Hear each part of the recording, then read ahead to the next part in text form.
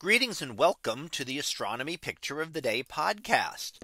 Today's picture for February 8th of 2024 is titled Globular Star Cluster 47 Tuc.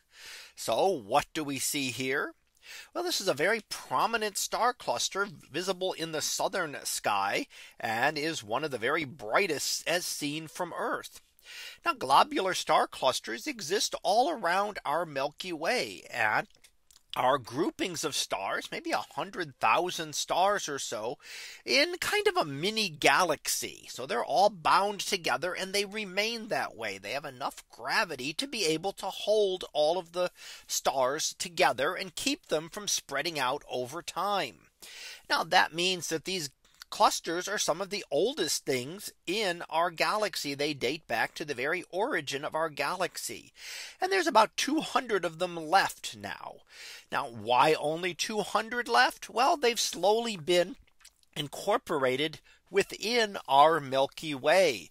So as they're a orbit around our Milky Way, their orbits sometimes take them in close to the Milky Way. And if they get too close, then they can end up being disrupted and torn apart. And their stars end up being becoming a part of our own Milky Way. And we see various times where this has occurred with globular clusters or other small dwarf galaxies which orbit our own galaxy.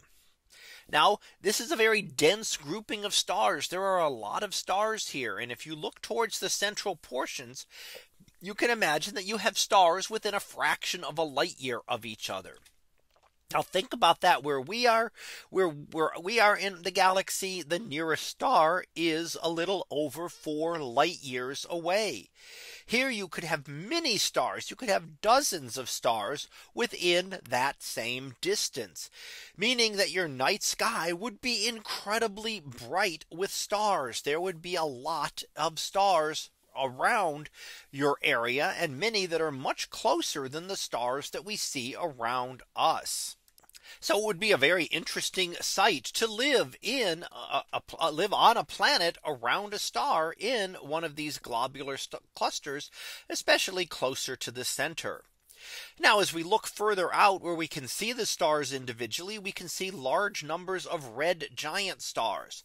Globular star clusters are old clusters. That means they don't have any new stars. And the dominant bright stars are going to be old red giant stars. In fact, stars like our own sun that have evolved and become red giants and red supergiants. Normally within our galaxy, we see the most prominent stars being bright blue stars that make up the spiral arms of our galaxy. Those don't exist in a globular cluster because globular clusters do not have the gas and dust to undergo star formation.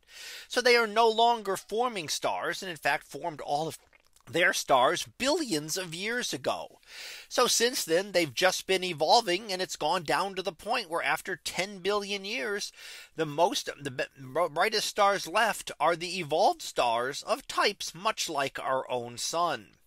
So studying these globular clusters has given us a better understanding of our galaxy and our position in it by how they are spread around our galaxy. So we can learn a lot more about our galaxy and especially the early parts of early times in our galaxy by studying these globular clusters. So that was our picture of the day for February 8th of 2024. It was titled Globular Star Cluster 47 Tuc. We'll be back again tomorrow for the next picture previewed to be when roses aren't red. So we'll see what that is about tomorrow. And until then, have a great day, everyone. And I will see you in class.